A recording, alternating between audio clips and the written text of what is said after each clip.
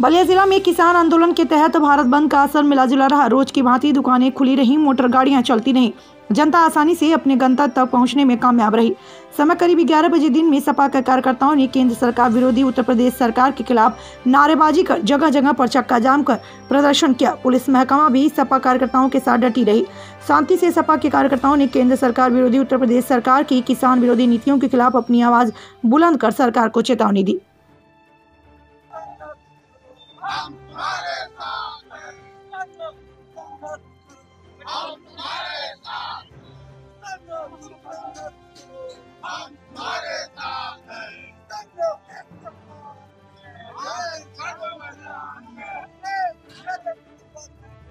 Zindabad! Zindabad!